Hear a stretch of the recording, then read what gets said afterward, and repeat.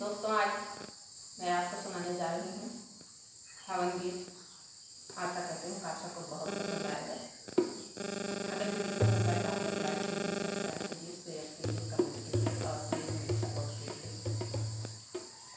तो आवाज़ की है, मैं नहीं रही हूँ। अगर आप लोग कमेंट में बताएँगे तो मैं वीडियो में अपनी भतीजी को